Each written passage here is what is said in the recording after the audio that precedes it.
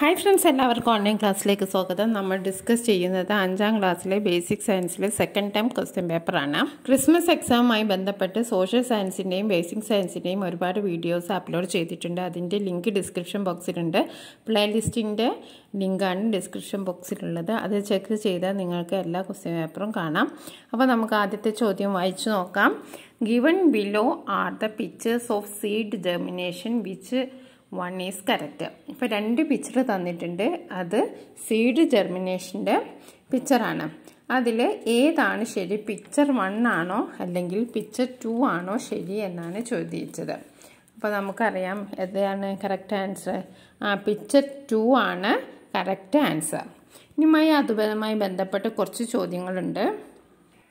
Following are the changes during the seed germination arrange them in right order അപ്പം വിത്ത് മുളയ്ക്കുമ്പോൾ seed germinate ചെയ്യുമ്പോൾ അതായത് വിത്ത് മുളയ്ക്കുമ്പോൾ ചില മാറ്റങ്ങളൊക്കെ നടക്കും. വിത്തിന് ചില മാറ്റങ്ങളൊക്കെ നടക്കും. അപ്പോൾ അത് കറക്റ്റ് ഓർഡറിൽ എഴുതാനാണ് ആദ്യം പറഞ്ഞത് എന്താണ്? ഡെവലപ്സ് പ്ലൂമോൾ പ്യൂമോൾ ഡെവലപ്പ് ചെയ്യുന്നു. പിന്നെ അബ്സോർവ് വാട്ടർ വാട്ടർ അബ്സോർവ് ചെയ്യുന്നു. ഡെവലപ്സ് റാഡിക്കിൾ റാഡിക്കിൾ ഡെവലപ്പ് ചെയ്യുന്നു. അപ്പോൾ ഇതിൽ ആദ്യം വരുന്നത് എന്താണ്? ആദ്യം എബ്സോർബ് വാട്ടറാണ് വിത്ത് വെള്ളത്തെ എബ്സോർബ് ചെയ്യാണ് ചെയ്യുന്നത്. ഓക്കെ അപ്പോഴെന്താണ് സംഭവിക്കുന്നത്? അപ്പോഴാണ് ഡെവലപ്സ് റാഡിക്കിൾ റാഡിക്കിളാണ് ആദ്യം ഡെവലപ്പ് ചെയ്യുന്നത്.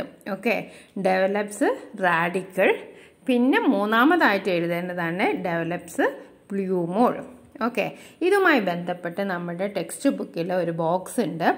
അപ്പോൾ നമുക്കത് വായിച്ച് നോക്കിയാൽ ഇതുമായി ബന്ധപ്പെട്ട് ഇനി വേറെയും ടൈപ്പ് ചോദ്യങ്ങൾ വന്നിട്ടുണ്ടെങ്കിൽ നിങ്ങൾക്ക് ആൻസർ ചെയ്യാൻ പറ്റും. അപ്പോൾ നമുക്കതൊന്ന് വായിച്ച് മനസ്സിലാക്കാം.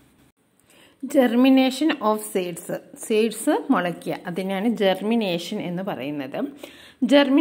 Is the process of the embryo inside the seed growing into seedlings under favourite circumstances അനുകൂലമായ സാഹചര്യങ്ങൾ ഫേവറേബിൾ ആയിട്ടുള്ള സിറ്റുവേഷൻസ് ഉണ്ടെങ്കിൽ വിത്തിനുള്ളിലുള്ള എംബ്രിയോ വളർന്ന് എന്തായി മാറുന്നു? സീഡ്ലിങ്സ് തൈച്ചെടിയായി മാറുന്നു.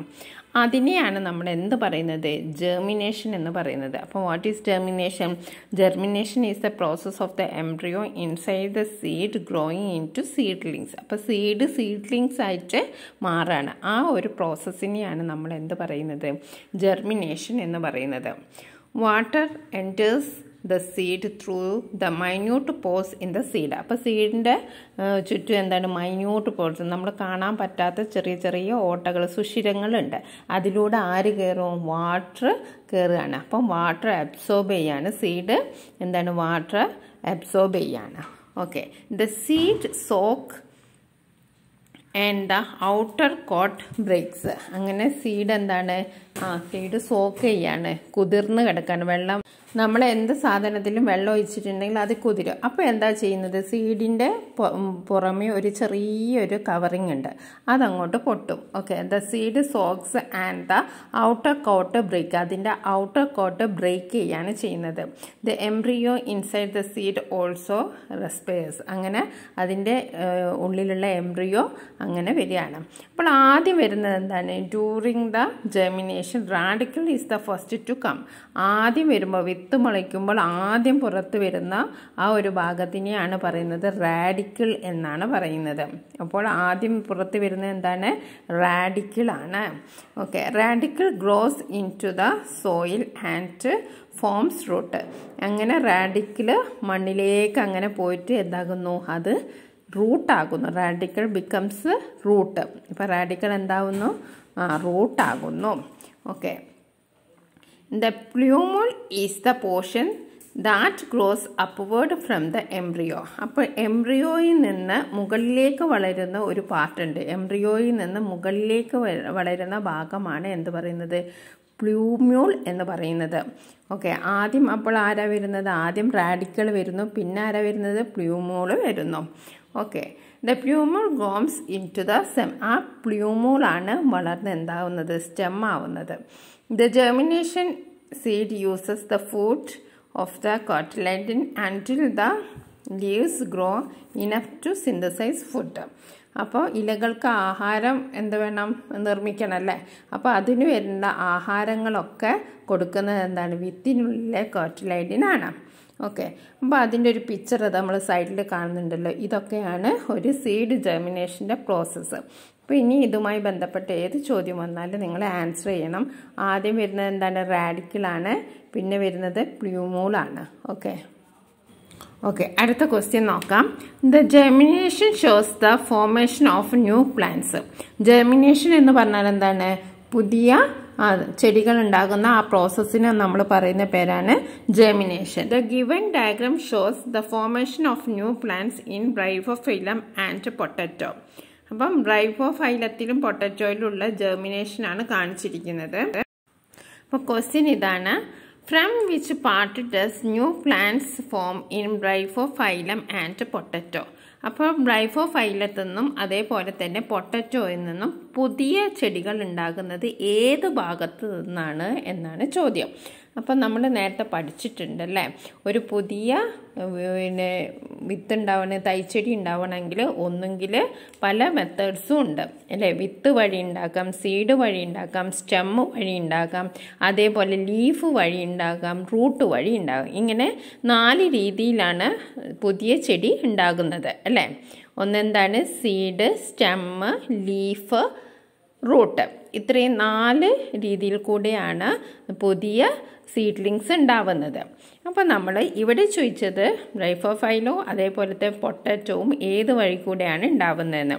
അപ്പോൾ നമുക്കറിയാം റൈഫോഫൈലോ എന്ന് പറഞ്ഞിട്ടുണ്ടെങ്കിൽ മലയാളത്തിൽ പറഞ്ഞ ഇലമുളച്ചി അതിന്റെ പേര് തന്നെ ഉണ്ട് അത് എന്ത് നിന്നാണ് ആ it is from new plants from leaves leaves എന്നാണ് റൈഫോഫൈലത്തിന്റെ പുതിയ ചെടികൾ ഉണ്ടാകുന്നത് ഇനി അടുത്തത് പൊട്ടറ്റോ ആണ്. പൊട്ടറ്റോ നമ്മൾ വിചാരിക്കും എവിടെ നിന്നാണ്? പൊട്ടറ്റോ റൂട്ട് നിന്നാണെന്നാണ് വിചാരിക്കുക. പക്ഷേ that is from a modified stem ഇനി വിത്തിൽ നിന്നുണ്ടാവുന്നത് നമുക്ക് എല്ലാവർക്കും അറിയാം അല്ലേ? ഫ്രം സീഡ് ഏതൊക്കെയാണ്? ഒരുപാടുണ്ട്. Amaranthus ladies finger okay tomato ഇതൊക്കെ എന്താണ്? വിത്തിൽ നിന്ന് ഉണ്ടാവുന്നതാണ് അതേപോലെ തന്നെ സ്റ്റെമ്മ് വഴി ഉണ്ടാകുന്നത് എന്തൊക്കെയാണ്? Tapioca sweet potato sugar cane പിന്നെ ഹിബിസ്കസ് റോസ് ഇതൊക്കെ എന്തിൽ നിന്നുണ്ടാകുന്നതാണ്? സ്റ്റെമ്മ് വഴി ഉണ്ടാകുന്നതാണ്. ഇനി ഫ്രം ലീവ്സ് എന്താണ്? നമ്മളിപ്പോൾ പറഞ്ഞ പിന്നെ ബ്രൈലോ ബ്രൈഫോഫൈലോ അതേപോലെ തന്നെ ബിഗോണിയ സ്ട്രെപ്റ്റോകാപ്സ് ഇതൊക്കെ എവിടെ നിന്നാണ് ഫ്രം ലീവ്സ് നിന്നാണ് ഉണ്ടാവുന്നത്. ഇനി റൂട്ടിൽ നിന്നുണ്ടാവുന്നതാണ് എന്താണ് ഗോവ കരി ലീവ്സ് ഇതൊക്കെ റൂട്ടിൽ നിന്നുണ്ടാവുന്നതാണ് അപ്പോൾ അത് നിങ്ങൾ ഓർമ്മിച്ച് വെക്കുക. ചിലപ്പോൾ ഇതേപോലെ തന്നെ ചോദിച്ചേക്കാം. ഓക്കെ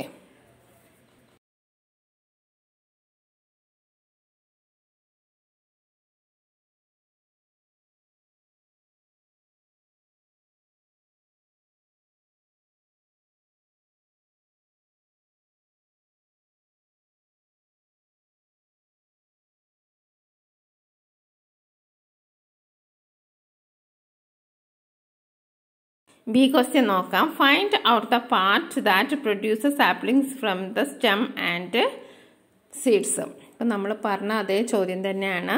അപ്പം മാംഗോ ട്രീ. മാംഗോ ട്രീ എവിടെ നിന്നാണ് ഉണ്ടാവുന്നത്? ആ മാംഗോ ട്രീ സീഡ് നിന്നാണ് ഉണ്ടാവുന്നത് അല്ലേ?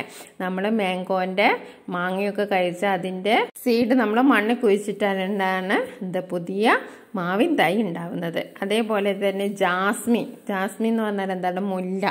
മുല്ല ഉണ്ടാകുന്നത് കൊമ്പ് കുഴിച്ചിട്ടാലാണ് അല്ലേ? സ്റ്റെം വഴി ത്രൂ സ്റ്റെമ്മ ഇനി അതേപോലെ തന്നെ ഡ്രം സ്റ്റിക്ക് ഡ്രം സ്റ്റിക്ക് എന്താണ്? നമുക്ക് രണ്ട് വഴി വഴി ഡ്രം സ്റ്റിക്ക് ഉണ്ടാകാം. ഒന്ന് നമുക്ക് ത്രൂ സ്റ്റെമ്മ് സ്റ്റെമ്മ് കുഴിച്ചിട്ടിട്ട് നമുക്ക് മുരിങ്ങ ഉണ്ടാക്കാം. അതേപോലെ തന്നെ വിത്ത് കുഴിച്ചിട്ടിട്ട് നമുക്ക് മുരിങ്ങ ഉണ്ടാക്കാം. അപ്പം ത്രൂ സീഡ് ആൻഡ് സ്റ്റെം പിന്നെ അടുത്തത് എന്താണ്? റോസ് പ്ലാന്റ് റോസ് പ്ലാന്റ് എന്താണ്? നമ്മൾ കുഴി സ്റ്റെമ്മ് സ്റ്റെമ്മ് കുഴിച്ചിട്ടിട്ടാണ് റോസ് ഉണ്ടാവുന്നത്. ഇപ്പോൾ റോസ് ഹിബിസ്കസ് ഇതൊക്കെ നമ്മൾ സ്റ്റെമ്മ് കുഴിച്ചിട്ടിട്ടാണ് ഉണ്ടാവുന്നത്. ടാപ്പിയൊക്കെ ഇതൊക്കെ.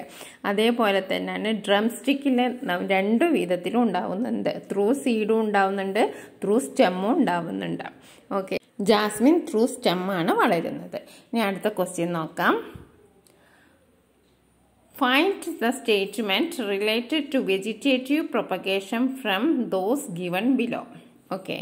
എന്താണ് വെജിറ്റേറ്റീവ് പ്രൊപ്പഗേഷൻ എന്ന് പറയുന്നത് അതായത് നമ്മളിപ്പോൾ പറഞ്ഞല്ലോ സ്റ്റെമ്മ് ലീഫ് അതേപോലെ തന്നെ റൂട്ട് ഇവയിൽ നിന്നൊക്കെ പുതിയ ചെടി ഉണ്ടാവുന്നതിനെയാണ് നമ്മൾ വെജിറ്റേറ്റീവ് പ്രൊപ്പഗേഷൻ എന്ന് പറയുന്നത് ഓക്കെ അപ്പോൾ ചോദ്യം ഇതാണ് propagation from those given below ഇതിൽ കറക്റ്റ് സ്റ്റേറ്റ്മെന്റ് എടുക്കാനാണ്. New plants are formed from seeds seeds നിന്ന് മാത്രമല്ല പുതിയ ചെടികൾ ഉണ്ടാവുന്നത്. പുതിയ ചെടികൾ എന്തിൽ നിന്നുണ്ടാവുന്നുണ്ട് സ്റ്റെമ്മിൽ നിന്നും ലീഫിൽ നിന്നും റൂട്ടിൽ നിന്നൊക്കെ ഉണ്ടാവുന്നുണ്ട്. New plants are formed from root leaf stem അപ്പോൾ അത് കറക്റ്റാണ് രണ്ടാമത്തെ ഓപ്ഷൻ കറക്റ്റാണ് ഇനി അടുത്ത vegetative propagation take place only in seed producing plants അത് കറക്റ്റ് അല്ല. New plants have the same qualities of its mother plant അപ്പോൾ ന്യൂ പ്ലാന്റ്സിന് അതിന്റെ അമ്മയുടെ ക്വാളിറ്റീസ് ഒക്കെ ഉണ്ടാവും. അത് ശരിയാണ്. അപ്പോൾ നമ്മൾ സീഡ് ജെർമിനേഷനെ പറ്റിയിട്ടുള്ള രണ്ട് ക്വസ്റ്റ്യൻസ് നമ്മൾ ഡിസ്കസ് ചെയ്തു. അതുപോലെ തന്നെ നിങ്ങൾക്ക് ആ ചാപ്റ്ററുമായിട്ട് ഒരു പരിചയമൊക്കെ ഉണ്ടാക്കാനായിട്ട് സാധിച്ചു. അല്ലെ? നിങ്ങൾക്ക് എല്ലാവർക്കും ഈ ചാപ്റ്ററിൽ നിന്നുള്ള സീഡ് ജെർമിനേഷൻ എന്ന ഭാഗത്തു നിന്നുള്ള എല്ലാ ചോദ്യങ്ങളും നിങ്ങൾക്ക് ആൻസർ ചെയ്യാൻ കഴിയുമെന്ന് വിചാരിക്കുകയാണ്. Okay thank for watching this video നിങ്ങൾ വീഡിയോ പുതുതായിട്ട് കാണുന്നവരാണെങ്കിൽ സബ്സ്ക്രൈബ് ചെയ്യാൻ മറക്കരുത്. സെക്കൻഡ് ടേം എക്സാമുമായി ബന്ധപ്പെട്ട കുറേ വീഡിയോസ് അപ്ലോഡ് ചെയ്യുന്നതാണ്. അപ്പോൾ നിങ്ങൾക്ക് മികച്ച വിജയം പരീക്ഷയിൽ ഉറപ്പാക്കാൻ കഴിയും. എല്ലാവരും ടെക്സ്റ്റ് ബുക്ക് നല്ലവണ്ണം വായിക്കുക. ടെക്സ്റ്റ് ബുക്കിലെ ഓരോ പിക്ചേഴ്സും നല്ലവണ്ണം തിരിച്ചറിയുക. അതെന്തിനെ കുറിച്ചാണ് പറയുന്നതെന്ന് നിങ്ങൾ ശ്രമിക്കും.